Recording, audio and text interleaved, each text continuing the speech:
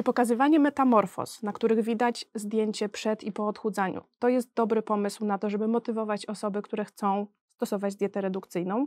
Czy w ogóle wygląd to jest dobra motywacja do odchudzania? No i czy dietetyk powinien pokazywać swoje odchudzanie i dlaczego w ogóle dietetyk może potrzebować odchudzania? O tym będę rozmawiać z moim dzisiejszym gościem, ale zanim do tego przejdziemy, zapraszam Was do subskrybowania naszego kanału, żebyście nie przegapili żadnego z odcinków. Ja się nazywam Małgorzata Jackowska, a to jest podcast Centrum Respo, rozmowy dobrze zbilansowane.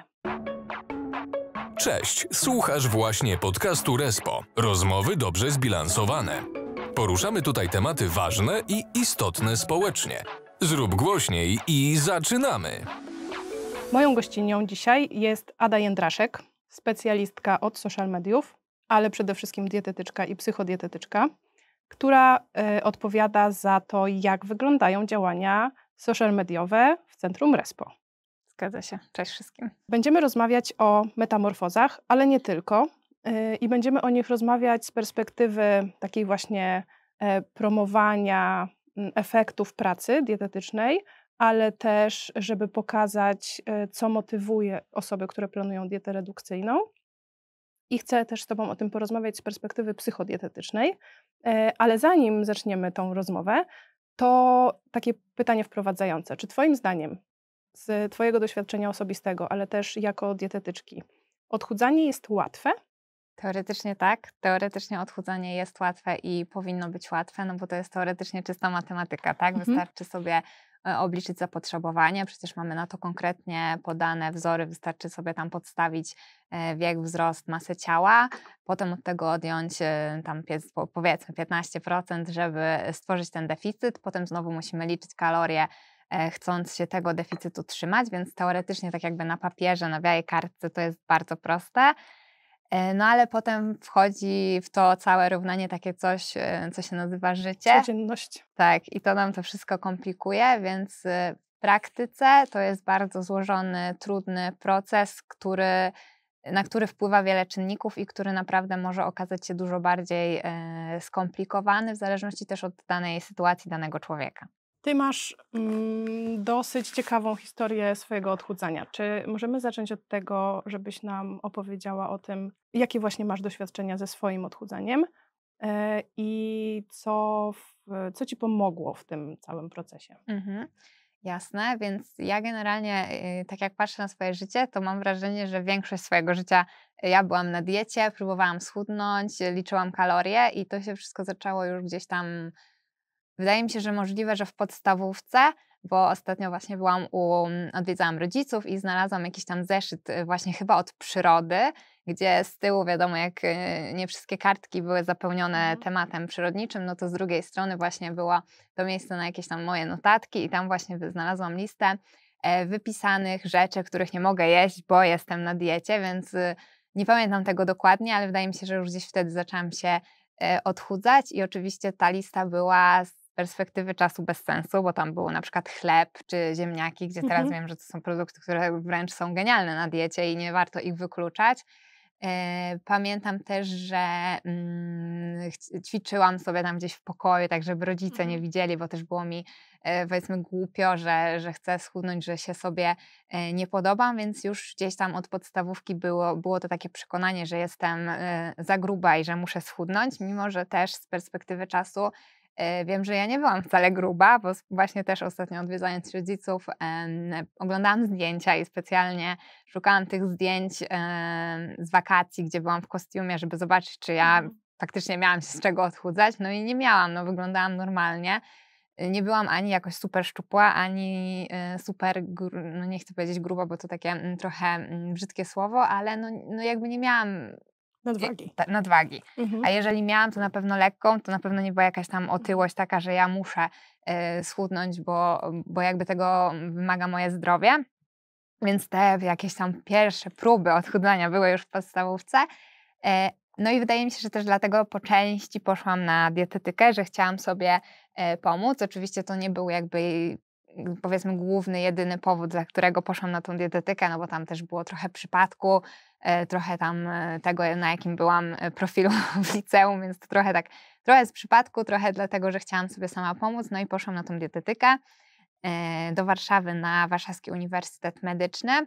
I co ciekawe, na pierwszym roku bardzo przytyłam. Mhm. Bardzo przytyłam na pierwszym roku studiów i to wynikało z tego, że ja nie umiałam gotować, no bo wiadomo, że jak byłam wiadomo, nie wiadomo. No u mnie w domu po prostu to y, gotowała mama i gotowała babcia, bo my jeszcze mieszkałyśmy właśnie z, y, z babcią i z dziadkiem, więc babcia nam zawsze gotowała obiady i tutaj już od razu zaczynam mówić w liczbie mnogiej, bo ja mam siostrę bliźniaczkę i byłyśmy, jakby razem poszliśmy na te studia, więc razem też mieszkałyśmy. I jak myślę o tamtych czasach, to ciężko mi mówić w liczbie pojedynczej, bo zawsze wszystko robiłyśmy razem. No i poszliśmy na te studia razem do Warszawy. Ja poszłam na dietetykę e, i przytyłam właśnie dlatego, że nie umiałam gotować i często bardzo jadłyśmy na mieście, tak? Było to Ale takie fast foody? Fast foody. McDonald's, e, to po prostu było na każdym e, możliwym kroku, fast foody. Ja też wtedy miałam taki gorszy trochę okres, że no tęskniłam do rodziców, nie mogłam się odnaleźć w tym wielkim mieście, mimo że to było moje marzenie, żeby mhm. studiować w wielkim mieście, no to jak już na te studia wyjechałam, to się okazało, że to jednak nie jest takie kolorowe i jednak się trochę tęskni. Trzeba sobie samemu radzić tak, w ogóle ze wszystkim. trzeba sobie e, ze wszystkim radzić. No to te studia też były trochę takie nowe dla mnie. Ja bardzo też e, się stresuję w nowych sytuacjach, więc to mnie tak wszystko przytłoczyło. No i też trochę chyba to jedzenie było dla mnie takim ukojeniem, że szukałam w nim e, spokoju, takiego jakby jakby to powiedzieć, takiego po prostu pocieszenia. Mhm. Więc na tym pierwszym roku studiów sporo przytyłam i schudłam dosyć, no nie, nie, chciałabym powiedzieć, że szybko, bo ja mam e, właśnie przez cały okres studiów takie historie, że sobie tyłam i chudłam na zmianę. E, I to właśnie często było związane z tym, co się dzieje w moim życiu. To jak potem będziemy pewnie rozmawiać o tym, dlaczego ludzie tyją i dlaczego odchudzanie nie jest takie proste, no bo właśnie e, jest to życie i ta codzienność nam w tym przeszkadza. Więc ja wtedy pamiętam, że schudłam i że mm, zaczęłam bardzo dużo jeździć na rolkach i że to właśnie była taka aktywność, która sprawiała mi przyjemność. Ja lubiłam jeździć na tych rolkach po polach mokotowskich, mogłam mhm. sobie tam wyjść, nawet zrobić tam 20-30 kilometrów na tych rolkach, mi się to podobało, więc chyba pierwszy raz właśnie schudłam przez to, że wprowadziłam tą aktywność fizyczną. Y, no i potem przez całe, przez całe studia właśnie miałam takie okresy, że sobie chudłam, tyłam na zmiany w zależności od tego właśnie, czy, się, czy zwracałam uwagę na tą dietę, czy nie. Jak nie zwracałam uwagi, no to tyłam. E, no i ostatni raz bardzo przytyłam właśnie w COVID-zie, kiedy był ten pierwszy y, taki poważny lockdown, że naprawdę nie można było wychodzić z domu.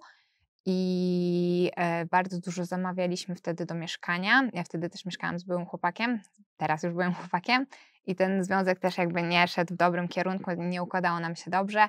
I wydaje mi się, że właśnie to wszystko się tak nałożyło, mhm. ten stres z, z, ze studiów, ten stres związany z COVID-em, ten stres związany z Y, z tą moją prywatną sytuacją i ja wtedy też bardzo, bardzo przytyłam, naprawdę już do takiego momentu, że ja wtedy ważyłam chyba w najgorszym momencie 65 kg. No i z jednej strony może się wydawać, że to nie jest jakoś bardzo dużo, ale ja jestem niska, e, więc dla mnie to było dużo i też nie czułam się dobrze, po pierwsze sama ze sobą, po drugie też fizycznie, no bo czułam, że nie mam kondycji, e, czułam, że ubrania się robią na mnie za małe, że E, no jedyne spodnie, które się na mnie e, mieściły, no to było mi w nich ciasno i tylko mhm. chodziłam i mówiłam, jak mi jest niewygodnie i że, że ja muszę w końcu schudnąć. E, I no i to był taki moment, w którym jakby chyba ważyłam właśnie najwięcej, najgorzej się ze sobą czułam. I zmiana, jaka zaszła od tamtego momentu, była długo, bardzo długo trwała, tak? To nie było tak, że ja sobie schudłam w 6 miesięcy, tylko ta zmiana E, była długa i była związana zarówno ze zmian takimi e, świadomymi mhm. nawykami, mhm. wprowadzaniem tych zmian, no ale też była związana z tym właśnie, jak mi się e, życie poukładało. Czy teraz, jak schudłaś tą, te 11 kg, to jesteś w stanie powiedzieć, co sprawiło, oprócz tego, że się czujesz lepiej psychicznie, bo zakładam, że to jest kwestia też tego, co wpływa na, na ten proces odchudzania, czy są jakieś inne rzeczy, które ty teraz widzisz z perspektywy czasu, które spowodowały, że e, wiedziałaś, co robić, dobrze się z tym czułaś i miałaś motywację do tego, żeby zadbać o tą masę ciała i schudnąć? Myślę, że tam było bardzo dużo takich czynników, bo też właśnie mniej więcej w tym okresie zaczęłam e, pracę w centrum Respo I właśnie jak zaczynałam pracę w Centrum Respo, to ważyłam te, te sporo, to było, no nie ważyłam najwięcej, bo już powoli zaczęłam tam, jakby zaczęło mi się w życiu e, układać i zaczęła, e, zaczęłam się znowu skupiać na tym odżywianiu, no ale nadal ważyłam więcej niż e, ważę teraz. No i właśnie to, że to moje życie zaczęło się układać, zaczęłam inną pracę, pierwszą taką poważną, bo Centrum Respo to jest de facto pierwsza taka moja poważna praca od studiów, więc też, że zaczęłam tę pracę, zaczęło mi się układać w życiu, jakby miałam taką przestrzeń w życiu, żeby właśnie na tym, e, mhm. nad tym odżywianiem się e, zająć, na tym się skupić. No i też e, myślę, że sama praca też w Centrum Respo pozytywnie na to wpłynęła, bo to środowisko jest takie, że no, otaczamy się jednak ludźmi, którzy zwracają uwagę na to żywienie, lubią się ruszać i samo, samo to, że tacy ludzie byli wokół mnie sprawiło, że te zmiany łatwiej przychodziły. Czy motywacją dla ciebie, bo z tego co opowiadasz, ja słyszę, że źle się czułaś sama ze sobą, z tym, że nie miałaś kondycji i z tym, że się nie mieściłaś w spodnie, które jedyne y, były mam wygodne. Je do tej pory, mam je do tej pory. To jest w ogóle bardzo ciekawy case, bo mm, mam wrażenie, że w ogóle w, w pandemii i też jak się dużo czasu spędza w domu, w dresie, to łatwo jest, i też miałam takie doświadczenie ostatnio, że w pewnym momencie chciałam się ubrać na coś, w jakąś sukienkę, którą kiedyś tam nosiłam, bo zwykle siedzę w domu, pracuję w domu, nie? więc jak musiałam wyjść gdzieś się ubrać, to się nagle okazało, że ja się w tą sukienkę nie mieszczę. Więc e, teraz muszę e, wymyślać, co zrobić. Ale właśnie jakby to jest to, co nam pokazuje, że tam, no nie wiem, ubrania się robią za ciasne, albo źle się czujemy, albo jest tam trudniej kondycyjnie sobie, sobie na co dzień radzić. To, to dla ciebie była motywacja, czy też to, jak wyglądasz na przykład? Czy chciałaś wyglądać szczuplej, albo tak jak wyglądałaś gdzieś tam na e, wcześniejszych zdjęciach? Chciałam wyglądać szczuplej. E, I czyli ten jakby wygląd był dla mnie ważny i ja nie uważam, że to jest coś tak kategorycznie e, złego, no bo nie ukrywajmy, wygląd w dzisiejszym świecie jest bardzo ważny, każdy zwraca uwagę na wygląd, więc jasne, że chciałam po pierwsze czuć się i wyglądać tak, jak wyglądałam jak wiem, że mogłabym wyglądać, bo kiedyś wyglądałam, no wiem, że lepiej się wtedy czułam zarówno mhm. psychicznie, jak i fizycznie. No i też może się wydawać, że to, że chcemy schudnąć, żeby lepiej wyglądać, to jest takie płytkie, no bo to jest przecież taki najprostszy, y, prosty powód, dla którego się odchudzamy, no ale jednak to jest najczęstszy powód i najczęściej właśnie ludzie odchudzają się dlatego, że chcą y, lepiej wyglądać, co też wiem po, y, po pacjentach Centrum Respo. I i to jest dobry powód na start, tak? Jeżeli, oczywiście, jeżeli to, że my chcemy wyglądać lepiej dla siebie, wynika z tego jakby z naszej wolnej, jakby powiedzmy, woli, a nie dlatego, że chcemy schudnąć, żeby się komuś podobać, albo bo mąż nam powiedział, że mamy mhm. schudnąć. Tylko jeżeli my chcemy schudnąć dla siebie, żeby lepiej wyglądać, to moim zdaniem to jest dobry powód. I taki jakby dobry, dobry powód na rozpęd, bo dopiero jak właśnie zaczynamy już chudnąć, zaczynamy powoli widzieć jakieś te, tego efekty, zaczynamy się lepiej czuć, zaczyna nam się poprawiać kondycja, to potem te inne motywacje i inne powody, dla których dalej chcemy na przykład chudnąć albo utrzymywać tą masę ciała, albo w ogóle dbać o zdrowie, one przychodzą z czasem i jedną z takich motywacji, która na przykład teraz jest dla mnie bardzo ważna, jest bieganie, tak? Bo mhm. zaczęłam niedawno biegać, teraz sobie trenuję do półmaratonu i bardzo motywuje mnie to, jak widzę, że teraz jestem w stanie przebiec coś, y, przebiec taki dystans, gdzie na przykład dwa lata temu to bym umarła prędzej niż, mhm. niż w ogóle to przebiegła, a teraz jakoś mi się udaje, te czasy są coraz lepsze i to mnie bardzo też motywuje do, do dalszego działania. A powiedz, y, co ty robiłaś, żeby schudnąć teraz te 11 kg? Bo ja też o to pytam, ja oczywiście znam tą historię i e, też rozmawiałyśmy o tym wielokrotnie, i ona mi się wydaje bardzo inspirująca, e, bo też patrzenie na to, jak się, jak się zmieniało, e, no pokazywałaś też swoje zdjęcia, więc jak się zmieniało twoje ciało, jak się zmieniała twoja aktywność, to jest takie naprawdę inspirujące. I ja wiem, jak to wyglądało, ale czy możesz o tym opowiedzieć, jak sobie radziłaś na początku tego odchudzania, co zmieniłaś i co robiłaś, żeby schudnąć, a jak to wygląda, wyglądało z czasem i teraz? Mhm, jasne. Więc ja jak powiedzmy, że zaczęłam pra pracować w centrum Respo, no i tam powoli właśnie wprowadzałam sobie jakieś tam zmiany, e, sama sobie powiedzmy radziłam, co chcę jeść, mhm. ile chcę tego jeść. Zaczęłam też, wróciłam na siłownię, bo ja kiedyś też bardzo intensywnie ćwiczyłam. E, tylko że przeważnie ćwiczyłam jakieś zajęcia grupowe, albo jak chodziłam na siłownię, to wchodziłam tylko na tą strefę taką funkcjonalną dla kobiet, że... Z bieżnią. Z bieżnią, albo takie, mm, są takie strefy jakby, że ludzie się tam ro rozciągają, ale tam zawsze jest jakiś jeden e, stojak z kantlami, no to ja tam ćwiczyłam, bo to było takie trochę oddzielone i nie było tam tych napakowanych facetów, którzy trochę mnie onieśmielali. E, więc to raczej były takie zajęcia. Mm, no i tam sobie powoli działałam, te zmiany e, przychodziły, e, chudłam bardzo właśnie powoli, w sensie poprawiała mi się kondycja, zwracałam uwagę na to, co jem, no bo jakby tą wiedzę dietetyczną mam, więc ja wiedziałam, jak mam to zrobić. Gorzej było z nawykami i wprowadzaniem tego w życie, o czym pewnie będziemy jeszcze rozmawiać. Więc ja sobie tam powoli działałam sama, a taki przełomowy moment to był we wrześniu w zeszłym roku kiedy Centrum Respo wyszło z modułem, nowym modułem treningowym, no i ja stwierdziłam, że to jest e, coś dla mnie, no bo ja właśnie o ile z dietą nie miałam takiego problemu, no to z tym ćwiczeniem e, miałam problem, że jak już szłam na siłownię, no to często nie wiedziałam, co mam robić, te zajęcia grupowe mi się nudziły, jak było dużo ludzi i e, wszystkie maszyny albo miejsca były pozajmowane, no to ja się czułam zagubiona na tej siłowni, nie wiedziałam, co mam robić, jak mam się zachować, jak mam ćwiczyć i w ogóle. Więc stwierdziłam, że to, że Respo wypuszcza nowy moduł treningowy, będzie dla mnie świetną okazją, żeby jakby bardziej się z tą siłownią zaprzyjaźnić i ćwiczyć tak, jakbym chciała. E, więc zaczęłam wtedy właśnie intensywnie, no intensywnie, no zaczęłam ćwiczyć z planem e, w aplikacji. Plan był bardzo fajnie e, dobrany, bo w ogóle aplikacja, no moim zdaniem ten moduł treningowy jest po prostu genialny. Ja z nim ćwiczę do tej pory.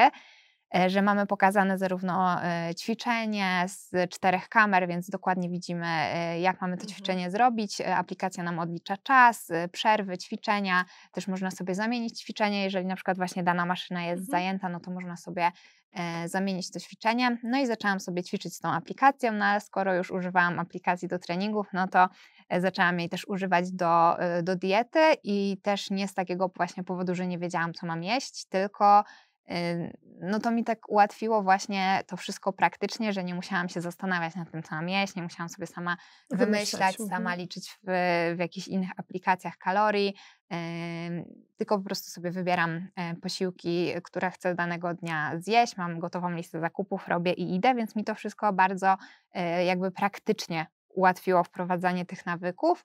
Też mniej więcej w tym okresie zaczęłam sobie troszeczkę biegać, ale to było we wrześniu, więc zaraz przyszła zima, ja w zimę nie biegałam.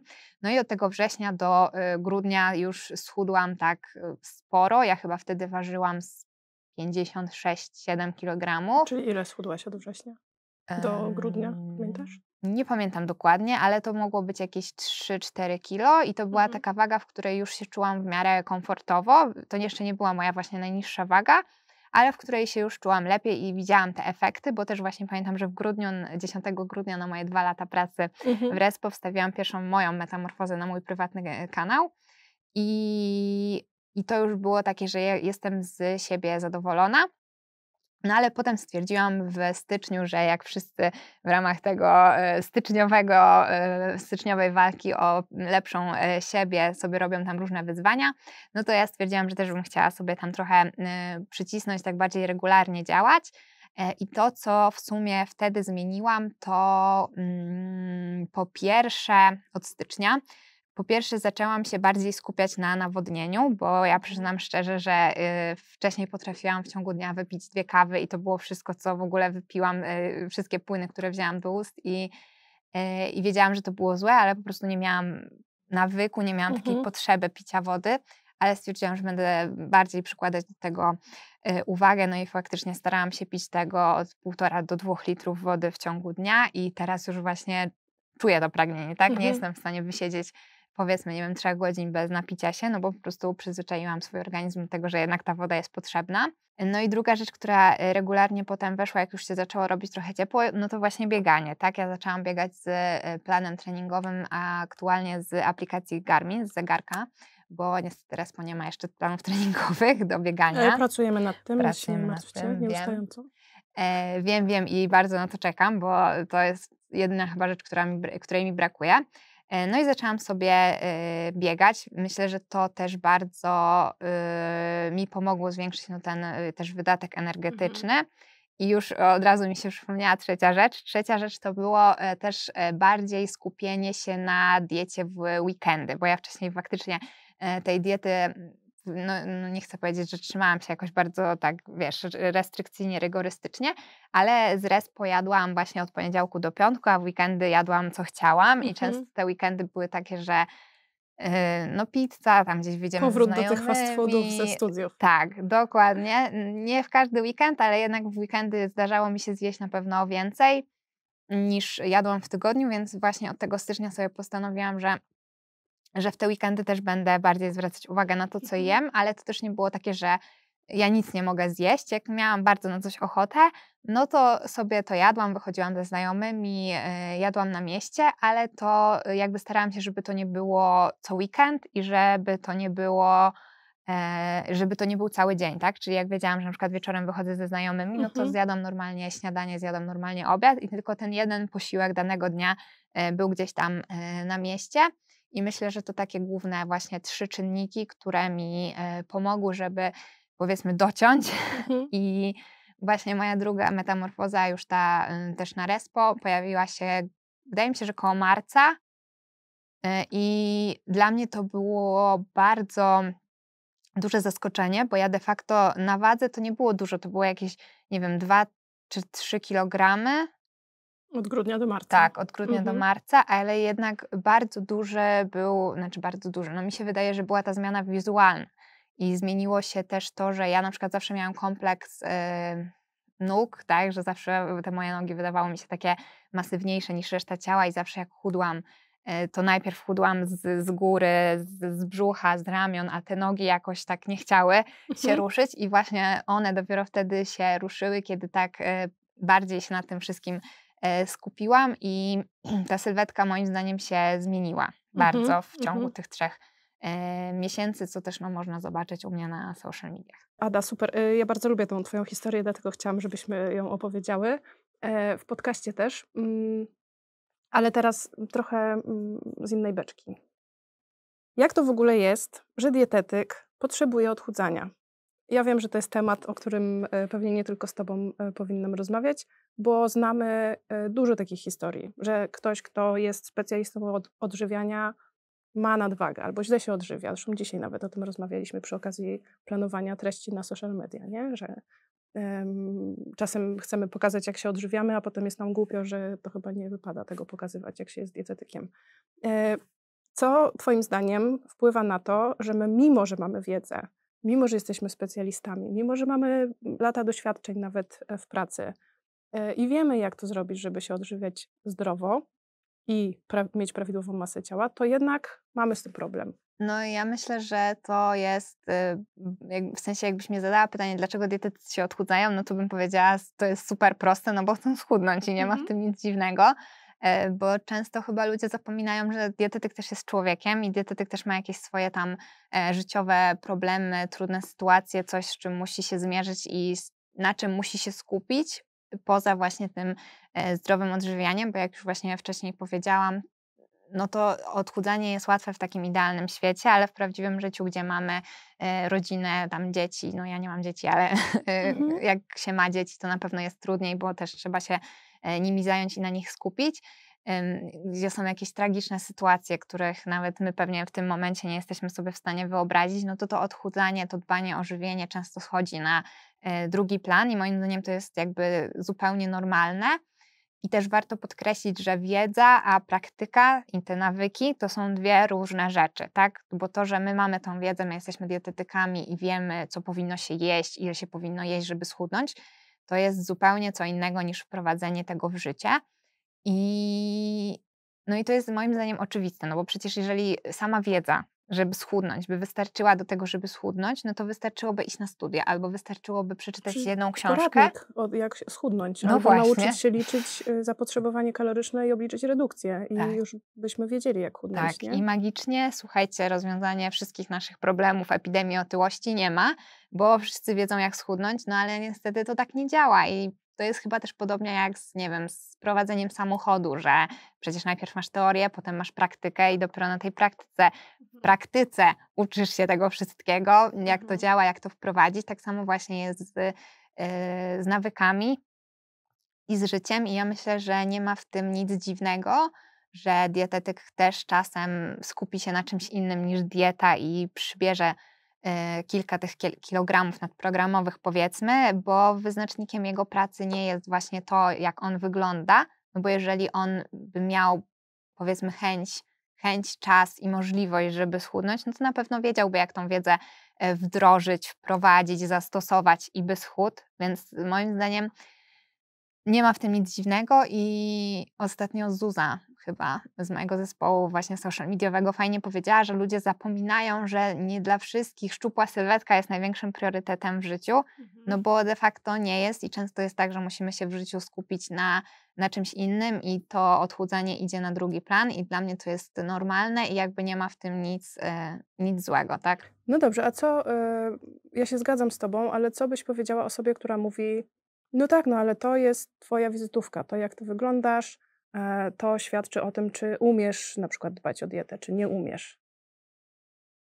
No, powiedziałabym, że, że się nie zgadzam, tak, że się nie zgadzam, bo moim zdaniem właśnie już metamorfozy są lepszą wizytówką dietetyka, albo to, e, co on mówi, niż to, co on, w sensie niż to, jak, jak, on wygląda, jak tak? edukuje na przykład, jak tak. treść, jakie mhm. treści przekazuje. Mhm. No dobrze, to przejdźmy do tych metamorfoz. W takim razie. E, to jest dosyć kontrowersyjny temat, dlatego że mm, z jednej strony daje nam obraz tego, jak może wyglądać odchudzanie, czy efekty tego odchudzania bardziej nawet, czy efekty w ogóle zmiany sylwetki, no bo powiedzmy, że są osoby, które na przykład nie chcą schudnąć, tylko chcą e, zrobić masę mięśniową. Więc też jak zobaczymy sobie zdjęcie przed i po, czy przed odchudzaniem, w trakcie odchudzania czy, y, i po odchudzaniu, no to będzie widać te zmiany. Ale e, pytanie pojawia się takie, czy jeżeli my tego mamy bardzo dużo w social mediach, e, w internecie, widzimy tych ludzi przed i po, widzimy te spodnie, wiesz, luźne po tym, jak ktoś schudł 20 czy 30 kg. Czy myślisz, że to jest e, zawsze dobry pomysł, żeby coś takiego pokazywać jako taki dowód tej naszej dobrej pracy, czy to ma jakieś, czy widzisz jakieś zagrożenia związane z, o, z pokazywaniem metamorfoz? Y, no jasne, że widzę. Ja w ogóle z metamorfozami mam taką powiedzmy trudną relację, bo patrzę na nie z jakby z dwóch punktów widzenia, bo ja jakby teraz w Centrum Les pracuję w, pracuję w marketingu, więc wiem, że te metamorfozy to jest najlepsze narzędzie sprzedażowe, najlepsze narzędzie biznesowe. No nic tak nie udowadnia, że E, centrum dietetyczne skutecznie działa, jak metamorfozy jego podopiecznych. A z drugiej Bo to strony, jest taki dowód skuteczności, taki dowód społeczny, tak zwany tak, social tak, proof. social proof, że, no, że jednak odchudzamy tych ludzi skutecznie. Ale z drugiej strony ja na to patrzę też z tej strony psychodietetycznej, no bo właśnie jestem po psychodietetyce, no i właśnie wiem, że, że dla osób, które są jakby bardziej narażone na takie obrazki, gdzieś miały jakieś y, styczność czy chorowały na zaburzenia odżywiania, no to takie obrazki mogą gdzieś być dla nich triggerujące i nie są dobrą motywacją. Ale uważam, że nie ma takiej jasnej odpowiedzi, żeby powiedzieć, że metamorfozy są złe albo metamorfozy są dobre. Tylko niestety muszę tutaj użyć sformułowania to zależy, mhm. bo zależy jak się te metamorfozy przedstawi, bo można przedstawić metamorfozy nieetycznie, Czyli powiedzieć na przykład, że to jest Kasia, która schudła 10 kg w miesiąc, jak będziesz e, brać taki suplement albo jeść tak i tak, to też schudniesz. No i coś takiego może być faktycznie e, po pierwsze wprowadzać w błąd, a po drugie dawać jakby taką no, złudną nadzieję, no bo mhm. wszyscy wiemy, że, znaczy no, pewnie nie wszyscy, ja żyję w takiej bańce, że już mi się wydaje, że wszyscy wiemy, że 10 kg w miesiąc to jest niemożliwe, ale na pewno są ludzie, którzy w to wierzą. E, i będą próbować e, jakąś tam, nie wiem, dietę 1000 kalorii, która im zrobi więcej krzywdy niż, e, niż pożytku. Więc takie przedstawianie metamorfoz na pewno jest złe i tego bym nie popierała, ale w metamorfozach nie chodzi tylko jakby o zdjęcie, bo metamorfoza to jest też człowiek, to jest też historia, to dlaczego ktoś chciał schudnąć, dlaczego się zdecydował, że zacznie odchudzanie akurat w tym okresie. Często to są takie powody, dla których, y, o których my byśmy nawet nie pomyślały, typu, że nie może się bawić z dzieckiem, albo że sprawia mu trudność wchodzenia po schodach. E, więc to jest, bardzo różne są tego powody, bardzo różne są historie i to, co też w takiej metamorfozie moim zdaniem powinno być, to też opis tego, co w życiu tego człowieka e, się zmieniło, czyli że ma lepszą kondycję, lepiej się ze sobą czuje. E, Jest zdrowszy. Jest zdrowszy, poprawiły mu się wyniki badań, bo to też bardzo często idzie w parze z odchudzaniem, więc jeżeli weźmiemy, jakby włożymy w ten obrazek coś więcej niż tylko zdjęcie przed i po, to moim zdaniem to jest świetna motywacja, co też widzimy po tym, jak te y, metamorfozy są odbierane w tych social mediach, jakie one wzbudzają czasem kontrowersje. y, Jak... Ale też zaangażowanie, nie? Jest bardzo Tak. dużo takich, jak popatrzymy na nasze media społecznościowe Centrum Respo, no to e, z jednej strony jest bardzo dużo pytań, o których zaraz e, porozmawiamy jeszcze, co to, co robiłaś, ile jadłaś i Tak, ile ćwiczyłaś, a z drugiej strony e, jest też bardzo dużo takich komentarzy e, z gratulacjami, z podziwem i z e, właśnie takim docenieniem tej pracy, którą ktoś wykonuje. Tak, bardzo dużo jest takich komentarzy właśnie z gratulacjami, no bo ludzie, wydaje mi się, że zdają sobie sprawę, że to jednak nie jest takie super proste, tylko jakiś tam ten wysiłek e, w to odchudzanie trzeba włożyć. e, Więc gratulują, mówią, że super, świetna praca. No i ja myślę, że to ich też motywuje, że pokazuje właśnie, że skoro, nie wiem, Magdzie, Kasi, Markowi się udało, no to ja też mogę w końcu e, schudnąć, mi też się w końcu uda. Ja też właśnie dlatego podzieliłam się swoją metamorfozą na social mediach, żeby pokazać, że skoro mi się udało, to tobie też się uda w końcu, pokażę ci, jak to zrobić zdrowo. E, I to, co też jest ważne, to moim zdaniem, że ludzie nadal nie rozumieją tego, jak bardzo odchudzanie jest indywidualne, tak? I właśnie te pytania, o których już wspomniałaś, że jak mamy metamorfozę, no to często pod nią się pojawiają pytania, a ile pani e, waży, a ile pani ma wzrostu, a ile razy pani ćwiczyła, a ile pani jadła kalorii. I jak pani ćwiczyła i co pani Tak, jadła i konkretnie? moje ulubione pytanie, a ile to zajęło czasu? E, I my celowo w Centrum Respo nie zawsze podajemy te informacje, żeby, znaczy po części dlatego, że nie zawsze podopieczny się na to zgadza. Czasem nawet zmieniamy imię podopiecznego, jeżeli on chce zostać w jakimś tam stopniu anonimowy. E, Więc po części to zależy od podopiecznego, ale po części właśnie chcemy uczyć ludzi, że nie wolno się porównywać do innych i że nie ma takiej zasady, że, mm, że skoro ona, ta pani z metamorfozy schudła 10 kilo, to ja schudnę 10 kilo i będę tak samo wyglądać, tylko wręcz przeciwnie. Nawet jeżeli weźmiemy dwie osoby, które powiedzmy, że nawet ważą y, tyle samo, mają tyle samo wzrostu, nawet ćwiczą tyle samo, no to może się okazać, że jak będą stosować taką samą dietę, to jedna schudnie więcej, druga schudnie mniej. Albo nawet jeżeli schudną tyle samo, no to jedna schudnie bardziej z, z, z, z ud, a jedna schudnie bardziej z brzucha i to jest bardzo, bardzo on- indywidualne.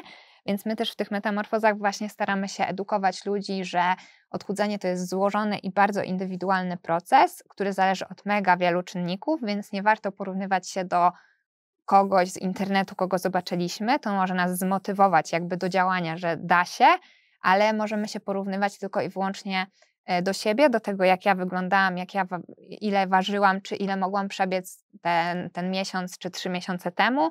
E, I to powinien być jakby wyznacznik naszego e, progresu i też najlepsza motywacja. Że te ta motywacja w postaci metamorfozy z internetu to może być start, a potem jednak ta motywacja i te efekty powinniśmy patrzeć bardziej na siebie niż na to, co rob, ludziom, ludzie robią w internecie. Zrobimy teraz chwilę przerwy i zobaczymy, co powiedzieli nam przechodnie, których zapytaliśmy o to, jaka motywacja do odchudzania jest ich zdaniem dobra. Słuchasz właśnie podcastu Respo. Rozmowy dobrze zbilansowane.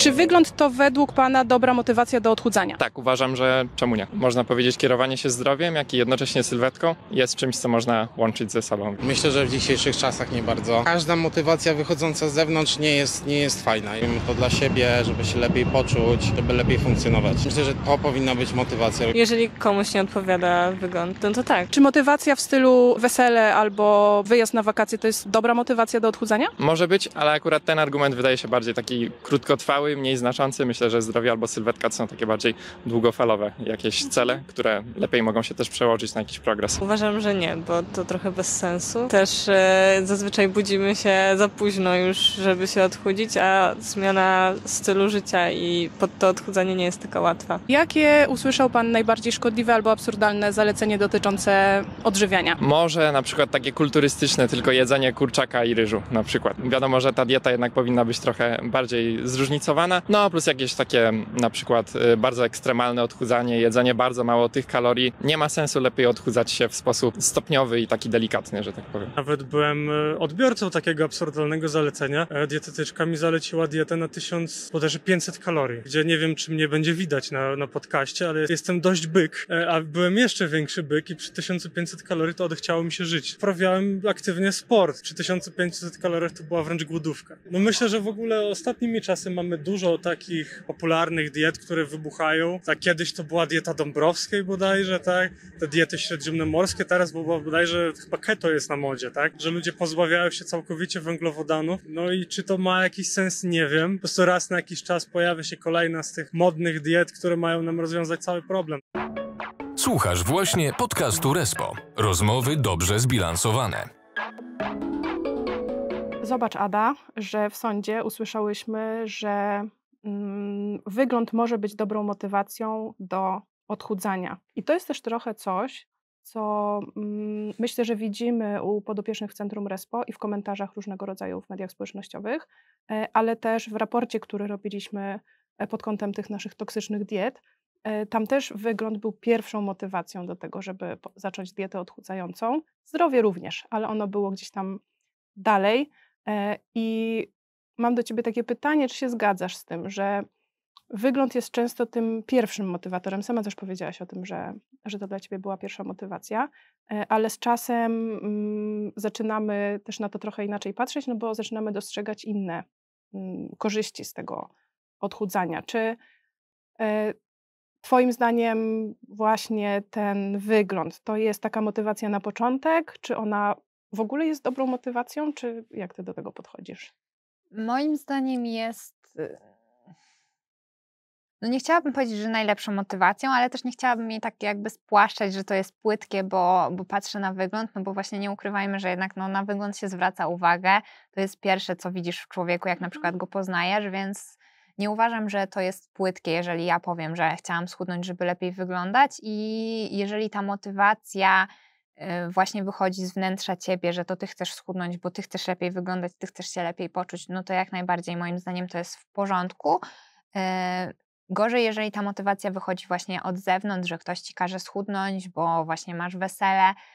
Takie motywacje często się wiążą z y, jakimiś nieudanymi próbami odchudzania albo właśnie efektem jojo. To, to też było w sądzie powiedziane właśnie, że schudnę do wesela, no to takie y, motywacje często y, są nieskuteczne w dłuższej perspektywie, y, no bo one nie zakładają tej trwałej zmiany nawyków, zmiany stylu życia, tylko właśnie traktują tą dietę jako coś e, Środek chwilowego, tak, jako środek do celu, coś chwilowego, że no ja się przemęczę przez te trzy miesiące do wesela, ale po weselu to mogę zrobić uff, no dobra, teraz to już nie muszę zwracać uwagę na tą dietę, więc te kilogramy e, wrócą, więc taka motywacja nie jest dobra, ale sam wygląd w sobie jako taka, takie to pierwsze popchnięcie w stronę Mhm. odchudzania, w stronę zmiany nawyków, ja mo- moim zdaniem jak najbardziej w porządku.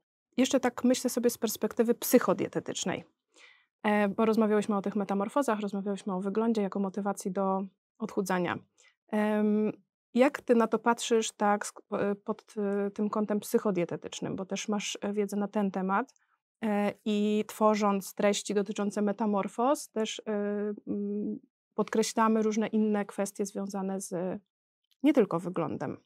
Czy uważasz, że pokazywanie metamorfozy, zdjęcie przed i zdjęcie po, z punktu widzenia psychodietetycznego, nie jest przypadkiem promowaniem tej toksycznej kultury dietetycznej? Uważam, że nie. Nawet jeżeli, e, tutaj pozwolę sobie, z tego, jeżeli dobrze pamiętam, popraw mnie, jeżeli się mylę, to w naszym raporcie definiujemy tą toksyczną kulturę dietetyczną jako takie parcie, promowanie bycia szczupłym, tego, że trzeba schudnąć. Albo jakimś konkretnym według Tak, wzorca. Mhm. Właśnie, bez dawania tych konkretnych rozwiązań, jak to zrobić. I Mhm. że te same jakby sposoby odchudzania są toksyczne, a nie sama jakby moim zdaniem chęć schudnięcia. Więc jeżeli my mówimy, jak zrobić to zdrowo i nie, przede wszystkim nie mówimy, że mm, ty musisz schudnąć, żeby poczuć się szczęśliwa, e, albo ty musisz schudnąć, żeby dobrze wyglądać i w ogóle je- będziesz tylko i wyłącznie wartościowa, jeżeli schudniesz, y, no to taki przekaz może być toksyczny, ale jeżeli my mówimy, nawet nie mówimy, tylko pytamy się, chcesz schudnąć? Jeżeli tak, to chodź, pokażemy ci, jak zrobić to zdrowo. No to moim zdaniem ten przekaz nie jest toksyczny. I jeżeli chcielibyśmy patrzeć na metamorfozy w takim właśnie kontekście, że one są pod każdym względem złe i toksyczne, no to de facto praca dietetyka też byłaby zła i toksyczna, bo przecież dietetyk, no nie chcę też teraz trochę tego spłaszczać, no bo to nie jest jedyne zajęcie dietetyka, ale założycie, że jak spotkasz kogoś i zapytasz kogoś na ulicy, czym się zajmuje dietetyk, to powie, że odchudza ludzi. Mhm. Więc jeżeli będziemy patrzyli pod tym kątem, że dietetyk odchudza ludzi, no to sam zawód dietetyka jest toksyczny. No, w sumie tak, masz rację, nie pomyślałam o tym e, w tym kontekście, ale rzeczywiście, jeśli my chcemy kogoś odchudzać, to w zasadzie jesteśmy toksyczni. Można sobie tak pomyśleć i właśnie chodzi mi o to, że, mm, że no odchudzanie może być toksyczne i te przekazy mogą być toksyczne, ale właśnie my staramy się promować, e, jak zrobić to zdrowo, pokazywać, jak można zrobić to zdrowo e, i właśnie promować, tak jak rozmawialiśmy o tym weselu, to o tym odch- odchudzaniu, jak rozmawialiśmy o tym odchudzaniu do wesela, no to właśnie, żeby nie promować diety jako coś chwilowego, trudnego, coś, czy trzeba przecierpieć z zaciśniętymi zębami. Żeby na tym weselu wyglądać Tak. nareszcie porządnie. Dokładnie, tylko jeżeli my traktujemy tą dietę, tą pracę dietetyka i tą metamorfozę nie jako, że to jest em, koniec tej przygody ze zdrowym odżywianiem, tylko jako właśnie początek jakby nowego stylu życia, że my zmieniamy swoje nawyki, uczymy się nie tylko ym, ile powinniśmy jeść, tylko no jakby przyzwyczajamy się też do tego, co jemy i potem łatwiej jest y, bez tego liczenia kalorii y, utrzymywać tą sylwetkę, więc ja traktuję te metamorfozy jako mm, taką motywację i takie, taki start, powiedzmy, tego y, nowego stylu życia, zwłaszcza, że w Respo też często publikujemy te metamorfozy po roku, tak? gdzie po roku czy dwóch odzywamy się do podopiecznych, pytamy, co tam u nich, czy, y, czy udało im się te efekty utrzymać. No i bardzo często, jak nie najczęściej albo zawsze, nie chcę mówić zawsze, bo to takie trochę Mhm. za duże uogólnienie, no ale jednak zdecydowana większość pacjentów mówi, zdecydowana większość podopiecznych mówi, że te efekty utrzymuje. No i też właśnie pokazujemy to na social media, gdzie pokazujemy nie tylko przed, po, koniec odchudzania, ale pokazujemy przed, po i po roku, że widać, że te efekty, te zdrowe nawyki zostały utrzymane i ci podopieczni też często piszą, że nadal korzystają z naszych przepisów, że nadal e, ćwiczą tyle razy, ile się przyzwyczaili ćwiczy, ćwicząc z RESPO, więc to jest taki początek zmian na całe życie. I jeżeli patrzymy na to w ten sposób, to moim zdaniem nie ma w tym e, nic toksycznego. Czyli możemy potraktować ten, e, to odchudzanie do wesela, jakbyśmy chciały z niego skorzystać, bo mamy za trzy miesiące wesele, chcę schudnąć do wesela, to można by to wykorzystać nie jako e, drogę do tego, żeby na to wesele już być koniec tego odchudzania, tylko żeby to była nasza motywacja do tego, żeby zacząć się zdrowiej odżywiać. Tak, można na to patrzeć, tylko często właśnie też te diety do wesela są tak restrykcyjne, że ich się nie da utrzymać później, nie? No, bo dobra, ale jeżeli- jakbyśmy chciały, wiesz, pokazać na przykład, że możesz skorzystać z tej motywacji. Mamy kogoś, kto mówi, muszę schudnąć do wesela. Wszystko jedno, czy to jest kobieta, czy mężczyzna. Chcę schudnąć do wesela, bo chcę lepiej wyglądać. No to psychodietetycznie lepiej będzie powiedzieć, dobra, to ja ci pokażę, jak to zrobić, ale pokażę ci tak, żebyś schudł albo schudła na to wesele i lepiej się czuła i lepiej wyglądała tak, jak chcesz, ale jednocześnie pokażę ci, jak to zrobić tak, żeby to utrzymać na długo, nie? Mhm. A nie jedz tysiąc kalorii, soki i pość y, po prostu cały weekend, żeby tylko schudnąć, a później będziesz mógł jeść dalej. I na tym Mhm. weselu, jak już zjesz, to po prostu musisz rozpiąć wszystko, co masz tam, Mhm. ten paski. No to też jest chyba takie trochę, mm, no ja teraz jakby ja jestem po dietetyce, ale ja nie pracuję jako dietetyk, bo pracuję właśnie w social mediach, to chyba też bardziej jakby z, jak z twojej strony to wygląda, czy właśnie jeżeli przychodzi taki podopieczny, tak, czy taki potencjalny pacjent i mówi, że on chce schudnąć do wesela i ty, czy dietetyk wie, że ta liczba kilogramów, no to jest za dużo, no bo mamy jakieś tam y, powiedzmy zalecenia, ile to jest zdrowa redukcja masy ciała, a ile to Mhm. jest za szybko i to wtedy rośnie ten efekt, rośnie to prawdopodobieństwo efektu jojo, no to czy lepiej jest właśnie mu powiedzieć, że no nie, to jest niemożliwe, ja ci nie ułożę takiej diety, czy lepiej mu jakąś tą dietę ułożyć i mieć nadzieję, że w czasie tej współpracy on jednak zrozumie y, jakby ideę tego zdrowego stylu życia i zmieni te nawyki na tyle, że one z nim zostaną, czy lepiej odesłać go z kwitkiem, żeby ktoś inny No, ułożył wtedy mu, kupi sobie no właśnie, wiesz, bardziej koktajle, dietę. tak, albo coś, żeby tylko schudnąć. E, A my możemy też, e, myślę, że też elementem pracy dietetyka jest taka edukacja i myślę, że w ogóle pra- elementem pracy w social mediach jest też edukacja, E, no bo jasne, że działania marketingowe są ważne, ale mm, też naszym zadaniem i sukcesem podopiecznych czy pacjentów jest to, że oni utrzymują te efekty, Mhm. że się czują lepiej, że chudną, jeśli chcieli schudnąć, albo budują masę mięśniową, jeśli chcieli budować masę mięśniową. Więc myślę, że ta edukacja, nawet jeśli ułożymy dietę, na której się chudnie szybciej niż powinniśmy, bo zależy komuś na tym weselu czy tam jakiejś innej okazji, e, no to ta edukacja też e, w międzyczasie może Mhm. się dziać, nie? Tak, i też ja jak tutaj jechałam, to się zastanawiałam e, jakby też nad tym, co to znaczy, że dieta jest e, skuteczna, nie? No bo przecież, e, że coś jest skuteczne, to znaczy, że, daje, że dzięki temu osiągamy jakiś swój wyznaczony cel. I często my myślimy, że właśnie jedynym celem tego, żeby schudnąć, no to jest ten wygląd, a często za tym idą y, inne jakieś tam powody, dla którego ktoś przychodzi do dietetyka. Czasem to nawet y, nie jest odchudzanie, czasem ktoś przychodzi, żeby właśnie nabrać masy mięśniowej i czasem jest też tak, że przychodzi z myślą o odchudzaniu, ale em, ma też inne cele, tylko na przykład o nich głośno nie mówi, tak. nie? I właśnie chciałam też właśnie dąż- dążyć do tego, że często y, my w tych metamorfozach właśnie opisujemy dokładnie, co się zmieniło i czasem te zmiany, które są jakby niewidoczne dla, go, dla oka, czyli nie widać ich na zdjęciu, są ważniejsze dla podopiecznego niż y, to, że on schudł. No Bo to, że on schudł i lepiej wygląda, to jedno, ale on jednocześnie mówi, że no, zmieniło się całe jego życie, że on już na przykład nie jest y, niewolnikiem diet, że nie wierzy już w te wszystkie właśnie toksyczne przekazy z social mediach, z social mediów, że wie, że może sobie na przykład pozwolić na jakiś produkt, który lubi, a nie jadł go ileś tam, bo, Mhm. bo internet mu, e, mu wcisnął kit, że, że tak powiem, że, że nie można tego jeść na diecie, e, więc jakby za tym, e, dlaczego ktoś idzie do dietetyka i, i czy chudnie, czy tyje, czy osiąga jakieś tam swoje cele, no to jest naprawdę dużo więcej za tym wszystkim stoi niż samo to, że ktoś schudł lepiej wygląda. Mhm.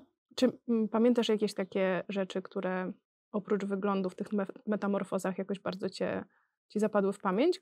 Coś, e, co nasi podopieczni pisali, że coś się zmieniło w ich życiu, że tak, że tak by ci zapadło w Eee, pamięć właśnie? Nie pamiętam dokładnie tak, żeby przy, przytoczyć ko- e, konkretne przypadki. Oczywiście jest na pewno kilka takich, powiedzmy, metamorfoz, które częściej się pojawiają na social mediach i które mogłabym Ci powiedzieć imię, nazwisko i ile kto schudł, e, ale pamiętam na przykład był jeden pan, który chciał właśnie schudnąć, żeby móc się bawić z dzieckiem, czy tam, nie pamiętam, czy to było dziecko, czy to był już wnuczek, czy tam e, e, wnuczka, ale że właśnie to była, to była motywacja, że, e, że chce schudnąć, żeby móc z tym dzieckiem biegać, móc go podnosić, móc się z nim wygłupiać. Też często ludzie piszą o tym, że zmieniło się ich podejście do ćwiczeń, że kiedyś ćwiczenia to dla nich było, e, była męczarnia, że w ogóle nienawidzili tego, nie chcieli tego robić, a dzięki Respo uświadomili sobie, że jakby ćwiczenia mogą sprawiać przyjemność, jeżeli się je dobierze do siebie, że nie muszą chodzić na siłownię i ćwiczyć y, plecy, nogi, y, Mhm. góra, dół, tak jak są te wszystkie y, podziały, tylko mogą, nie wiem, iść na basen, mogą sobie poćwiczyć w domu i teraz tą aktywność fizyczną lubią i nie wyobrażają sobie bez niej życia. Są takie nawet ekstremalne przypadki, że ktoś właśnie zmienił swoje całe życie, rozstał się z mężem i, i przeprowadził się do innego kraju, więc naprawdę te historie są czasem e, niesamowite i to naprawdę jest dużo, dużo więcej zmian za tym idzie niż sama zmiana wyglądu. Powiedz jeszcze, Ada, czy masz, em, czy masz jakieś takie obserwacje dotyczące e, nietrafnego postrzegania właśnie diet odchudzających, czy takiego błędnego postrzegania tych diet odchudzających e, z perspektywy tego, jakie komentarze pojawiają się w mediach społecznościowych, jak pokazujemy diety, jak pokazujemy metamorfozy, jak pokazujemy e, jakieś treści edukacyjne, czy tak jak w sądzie pojawił się wątek jedzenia e, ryżu z kurczakiem i z brokułem, albo diety 1500 kalorii dla faceta, który ma 1,90 m wzrostu. Czy widzisz dużo nadal mitów dotyczących diety i odchudzania? Y, z jednej strony tak, z drugiej strony nie, ale wydaje mi się, że to, że nie, to, że ja żyję trochę w takiej bańce, że wszystkie konta, które na przykład ja obserwuję prywatnie w social mediach, właśnie y, no to są konta dietetyczne, które nie powielają tych mitów, tylko wręcz starają się z nimi walczyć. E, ale jednak tych mitów nadal jest dużo i ludzie czasem nadal, w, znaczy czasem, i ludzie nadal w nie wierzą, co widać, co się czasem pojawia w pytaniach czy w komentarzach pod naszymi rolkami, zwłaszcza jeżeli poruszamy jakieś takie kontrowersyjne tematy, ale nie w takim mm, wydźwięku, że kontrowersyjne, że właśnie one są jakieś toksyczne czy, czy nieprawdziwe, bo my wszystkie treści, które poruszamy, czy to na Instagramie Respo, czy ja na swoich prywatnych kanałach, no to one są potwierdzone y, naukowo, zgodne z tym najnowszym, tak, merytoryczne, zgodne z najnowszym e, stanem wiedzy, tylko ludzie często się z nimi nie zgadzają, bo oni mają swoje własne przekonania, bo oni gdzieś coś e, usłyszeli i takich rzeczy jest mnóstwo. No jeden z takich powiedzmy topowych tematów, pod którym zawsze jest najwięcej komentarzy, że ludzie się z nami nie zgadzają, to jest masło i margaryna. Mhm. E, to jest na przykład na czym smażyć. E, to jest na przykład też często węglowodany w diecie, czy one w ogóle są potrzebne i dieta ketogeniczna, no to też jest coś, e, pod czym zawsze jest mega dużo komentarzy i to właśnie pokazuje to, że mimo, że na przykład mi się wydaje, że jakiś e, post na social mediach już był zrobiony trzy razy w ciągu ostatniego roku i po co my w ogóle jeszcze raz o tym mówimy, no to, że to jest jednak potrzebne i mimo, że jest coraz więcej takich rzetelnych dietetyków, którzy faktycznie promują e, to zdrowe podejście, to, tą, tą zdrową dietę, to jednak te mity też nadal się, e, się powiela, też nadal się promuje i moim zdaniem właśnie fajne jest to w social mediach, jeżeli obserwuje się dobre źródła e, i faktycznie merytoryczne osoby, dobrych specjalistów, no to, że można jednak z tymi mitami, z tymi takimi toksycznymi podejściami, z tym takim toksycznym podejściem walczyć i mi się wydaje, że to widać też u wszystkich dietetyków i też w internecie jest takie przekonanie, że dietetyk to musi jeść idealnie. Mhm. E, I u mnie na przykład największy hejt pod moją prywatną rolką to było, jak pokazałam, że jem, e, jadłam w ogóle dosyć zdrowo tego dnia, bo ja też często robię foodbooki, pokazuję, co jem w ciągu dnia. I staram się, żeby one były, no, po pierwsze, jak naj czy nawet nie jak najzdrowszy, tylko jak najprawdziwszy, czyli że pokazuje faktycznie to, e, co danego dnia zjadłam i tamtego dnia jak, jakiegoś na śniadanie zjadłam e, jakieś tam placuszki z nutellą. I ta nutella wywołała ja taką wiem, burzę, tak, nutella jest że bardzo jak w ogóle dietetyk śmie jeść nutellę, gdzie tej nutelli to wiesz było dwie łyżeczki, e, a oprócz tego była pełnoziarnista mąka, borówki, które są świetnym źródłem antyoksydantów, więc ten posiłek nie był niezdrowy, a ta nutella wywołała taką burzę, bo ludzie nadal też mają takie podejście zero-jedynkowe, że albo jesz zdrowo, albo nie jesz zdrowo i, i to nadal jest jeden z kolejnych mitów, z którymi na przykład ja staram się na social mediach walczyć i pokazywać, że no jeżeli dodam sobie nutelli do pancake'ów albo do owsianki, albo zjem e, na wakacjach pizzę ze znajomymi, no to albo nic gofry. się nie stanie. Gofry, tak, gofry to też jest dobry No ja idę nawet dalej, bo jeszcze dzieciom daję tą nutellę i to już w ogóle jest, yy, można mnie zgłosić do opieki społecznej spokojnie. Z perspektywy Twoich y, dwóch lat pracy w Respo dłużej? Dwóch, prawie już trzech. E, prawie już trzech, no właśnie. Czy mm, widzisz, jak się zmieniają e, treści, które, mm, które odbiorcy chcą oglądać i chcą e, dowiadywać się, jakby tematy, o których opowiadamy w mediach społecznościowych? Bo mam wrażenie, że metamorfozy to jest niezmienny element tego, co mhm. pokazujemy, i to nie dlatego, że my chcemy pokazywać, e, albo nie tylko dlatego, że my chcemy pokazywać te efekty naszej pracy, ale też dlatego, że właśnie y, one generują duże zaangażowanie, duże zainteresowanie i dużo pytań e, od y, obserwatorów. Ale czy są inne jakieś wątki, tematy albo nie wiem, formy tych treści, które, mhm. które widzisz, że się zmieniły? To mi się właśnie wydaje, że bardziej się zmienia ta forma tych treści niż yy, same te merytoryczne informacje, które my przekazujemy. Czyli kiedyś, jak ja zaczynałam właśnie pracować w Respo, no to praktycznie nikt nie robił rolek. Nie wiem, czy w ogóle wtedy Chyba istniały rolki, mhm. mogły nie istnieć. Pamiętam, że właśnie na samym początku, jak te rolki weszły, te ilości to... tych grafik po prostu i codziennie nowe tak, grafiki, grafiki, karuzele. I że jak weszły te rolki, to ja tam nagrywałam chyba jedną rolkę w tygodniu, ja odpo Mhm. odpowiadałam za nią, więc to były jakieś pojedyncze ilości, ale tych y, rolek nie było. Były właśnie grafiki, karuzele, jakieś infografiki, czy też były takie dłuższe treści w ogóle. Mhm. Zdjęcia że- po, prostu, nie? Tak, że było zdjęcie i właśnie długi, bardzo merytoryczny opis. No teraz się robi głównie te rolki, te grafiki gdzieś tam, no nie chcę powiedzieć, że odeszły w zapomnienie, bo fajna grafika potrafi wygenerować dobry zasięg, dobre zaangażowanie. E, U nas szczególnie dobrze idą teraz jadłospisy, że faktycznie Mhm. ludzie chcą zobaczyć, jak Jadłospisy może... chyba niezmiennie e, Tak. się mm, dobrze sprawdzają, bo też e, i takie edukacyjne treści, Mhm. które dają po prostu wartość taką merytoryczną, nie? Tak, i właśnie do tego dążę, że te, sama ta, to, co my mówimy w social mediach, mam wrażenie, że na przestrzeni tych dwóch, trzech lat wcale się nie zmieniła.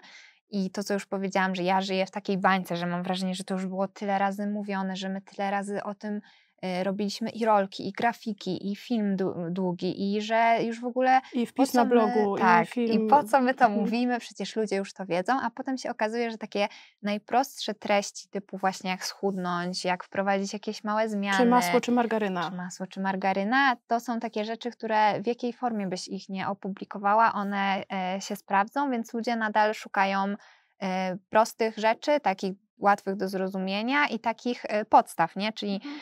Mm, nie szukają jakichś tam skomplikowanych rzeczy, tylko prostych, praktycznych rozwiązań, chociaż z drugiej strony też się y, czasem zastanawiam, że wręcz y, jest odwrotny trend, ale to wydaje mi się, że to jest mniejszość, na którą po prostu zwraca się uwagę, bo no bo jest taka inna, że ludzie wręcz zadają tak jakieś szczegółowe, wy, wymyślne pytania w komentarzach czy w DM-ach, że ja się zastanawiam w ogóle, że po co im to, że zamiast skupić się właśnie na po prostu, żeby zdrowie jeść na co dzień, na jakichś podstawach, to zastanawiają się, czy tam, nie wiem, jakieś tam przechodzenie metali ciężkich skądś tam, takie, wiesz, teorie spiskowe, e, które moim zdaniem nie Albo mają... po prostu szczegóły, nie? Bo Tak, czasami też jest takie- tak, że tam, nie wiem, ten produkt jest dobry, no ale on, przykład warzywa. Warzywa są zdrowe, ale zawierają jakieś tam Tak. związki przeciwodżywcze, więc nie możemy ich jeść. I czy to na pewno tak jest, y, że to jest dobry produkt? Więc tam rzeczywiście takich szczegółów można się doszukiwać w zasadzie we wszystkim, nie? Tak, no i jakby się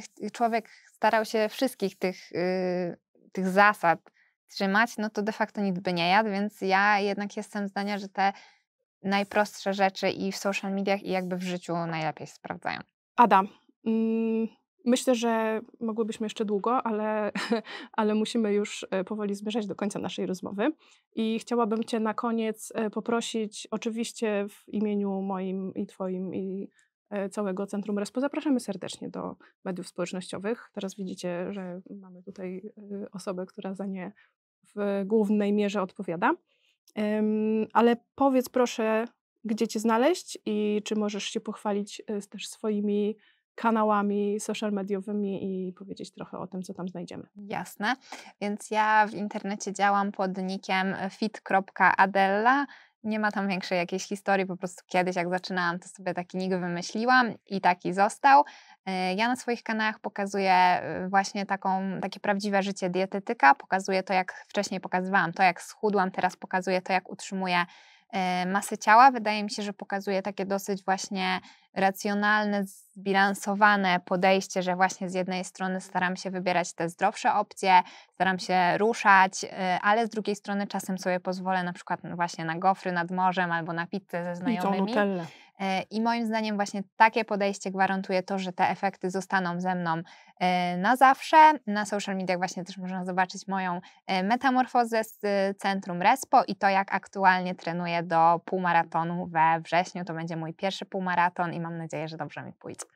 A ja bardzo Wam polecam, bo y, sama podglądam Adę, bo mnie po prostu to inspiruje i y, od razu sobie myślę, że ja też muszę mm, trzymać, y, trzymać dietę i wrócić do biegania, bo zawsze to bardzo lubiłam, a teraz się właśnie chyba mam gorszy okres na to, nie? To też jest bardzo fajne z mojego punktu widzenia, bo ja no, to moje konto nie jest jakieś wielkie, tak? Nie, nie mam jakichś super ekstra dużych zasięgów i super dużej, e, dużej liczby odbiorców, ale jednak bardzo miłe jest to, jak właśnie ktoś mi powie, czy to na żywo, tak jak ty, czy to właśnie napisze mi Mhm. wiadomość, że dzięki mnie zaczął biegać, albo że właśnie jak patrzy na to, jak ja jestem zmotywowana i że ja wstaję rano na te treningi, no to też sobie myśli, że, że on też da radę, że ona też da radę, że skoro mi się udało, to to im też się uda i że ich to motywuje i to dla mnie jest też takie bardzo, bardzo miłe i też motywujące do dalszego działania i e, do tego, żeby właśnie pokazywać to, tą prawdę, nie, nie kolorować, że ja jem super zdrowo, tylko pokazywać właśnie to, jak naprawdę jem, to jak, ile naprawdę ćwiczę i żeby jakby właśnie pokazywać, że jestem dietetykiem z wykształcenia, ale jestem też człowiekiem, mam gorsze, lepsze momenty i staram się po prostu jak mogę i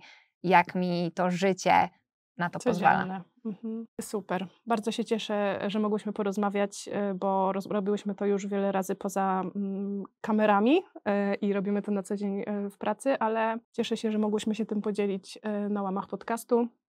Bardzo Wam dziękuję za dzisiejsze spotkanie. Dzięki, Ada. I do zobaczenia w następnym odcinku. To był podcast Respo. Rozmowy dobrze zbilansowane. Dzięki, że jesteś z nami do końca.